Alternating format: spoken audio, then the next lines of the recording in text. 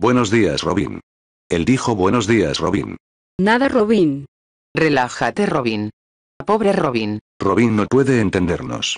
Estás mal de nuevo, Robin. ¿Qué opinan al respecto, chicos? Seguro mostrémosle el latín de cerdo. Sí.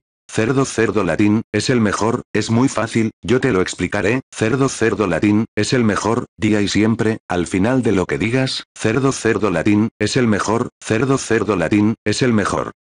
¿Ah, qué? No Robin. Él nunca hablará la lengua.